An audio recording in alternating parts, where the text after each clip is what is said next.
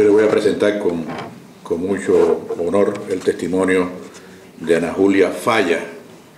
El, el capítulo de ella en el libro se llama Un testimonio de acosos y demonizaciones. Y en el libro hay una reseña sobre ella que les voy a leer para que sepan quién es la persona. Ella fue, es analista y consultora política, graduada de la Escuela de Letras y de Arte del curso de instructores del Departamento de Filosofía de la Universidad de La Habana. En Cuba fue investigadora auxiliar en el Centro de Estudios sobre América, CEA, profesora invitada del Instituto Superior de Relaciones Internacionales y la Universidad de La Habana, funcionaria del Departamento América del Comité Central del Partido Comunista de Cuba, editora e investigadora en la Oficina de Publicaciones del Consejo de Estado y editora principal de varias casas editoriales.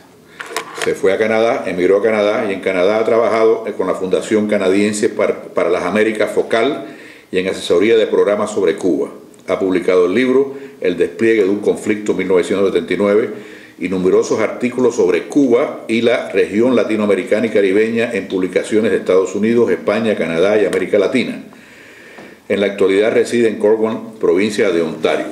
Esa es la, ficha bibliográfica de ella. Ella es de la generación de Juan Antonio, muy amiga de Juan Antonio, y a través de Juan Antonio fue que tuvimos el, honor de conocerla hace eh, aproximadamente seis años. Fuimos a Canadá, una, delegación de consenso cubano, fuimos, ahí la conocí, comenzamos una, una, gran amistad, y esa gran amistad hace que cuando ella no puede venir a, la presentación del libro en el cual ella es parte, eh, Juan Antonio le pregunta quién tú quieres que, haga la presentación tuya, lo que tú vas a mandar, que es una página que tengo que les voy a, les voy a leer, ella le, dice Marcelino.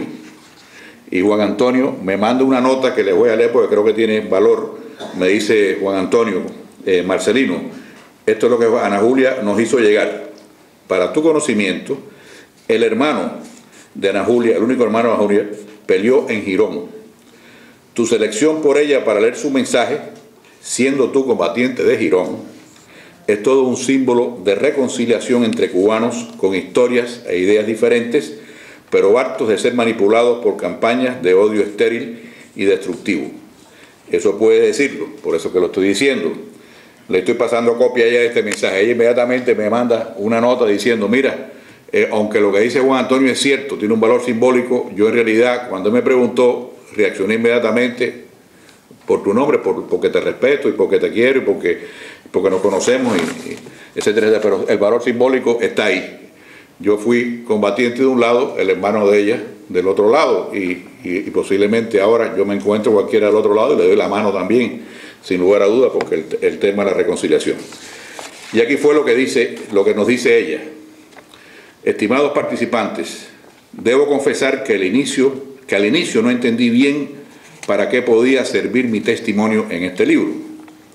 Después, la lectura de los trabajos de Rojas, Uva de Aragón y Juan Antonio amplió más mi visión. Ya conocía de las constantes campañas contra Montaner, desde los medios cubanos y afines a ellos fuera de la isla. En la medida en que me fui percatando de los propósitos de este libro y conociendo más sobre el concepto de asesinato de reputación aplicado a las acciones del régimen cubano, comprendí que quizás podía añadir una perspectiva de interés. Lo que convierte en valioso mi testimonio no es la calidad o no del relato, sino las extraordinarias situaciones que me tocaron vivir a lo largo de cuatro décadas ser, ser partícipe de dos procesos represivos contra intelectuales, seguidores o fieles al sistema, vivencias adquiridas dentro de dos organismos centrales del Estado socialista como el Consejo de Estado y el Comité Central, más las experiencias familiares vividas junto a un historiador y a un poeta en Cuba. Partícipes ellos a su vez de otros procesos represivos no son poca cosa. Supe por estas vías de la tergiversación de la historia de Cuba anterior y posterior al 59, de las caricaturas del pensamiento de nuestros próceres, de la simplificación y manipulación de las ideas filosóficas y políticas, de la ofensa pública, de la censura incluso a las metáforas y también de la imposibilidad de presentar ante tribunales las denuncias a estas afrentas. Por eso, pensando sobre este libro, decidí que tenía algo que decir. si en sus páginas se denunciaba la actuación todopoderosa del Estado cubano sobre la reputación y obra de otros cubanos y personalidades, e incluso sobre nuestras concepciones. Y también decidí formar parte de este libro porque como parte de aquel sistema fui víctima y victimaria. No puede ser de otra forma cuando se acepta participar de un régimen que excluye y aplasta a quienes se le oponen, que deciden quién tiene honor y quién deja de tenerlo, incluso quién es cubano a carta cabal y quién no. Los combatientes de Girón, por ley, no somos cubanos ya hace rato.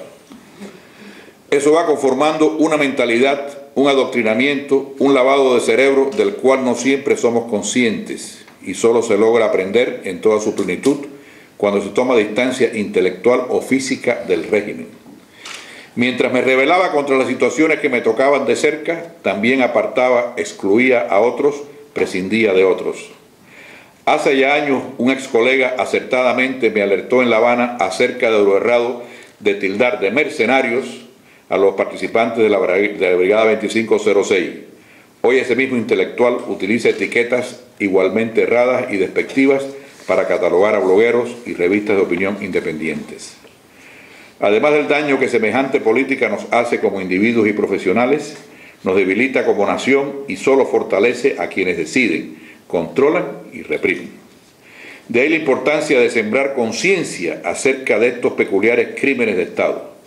Y también porque nunca será poco lo que se diga o haga para hacer evidente la distancia entre el régimen evidente, en Cuba y los principios de emancipación humana y social que con nobleza muchos tratan de hacer valer en este mundo. Para mí es una dicha participar en este libro junto a Rojas, Montaner, Hugo y Juan Antonio intelectuales a quienes leo y respeto. Y espero, como se ha anunciado, que otras ediciones nutra con otros ejemplos las denuncias sobre los asesinatos de reputación del régimen cubano.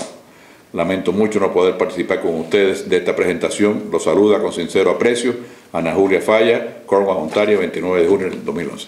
Muchas gracias.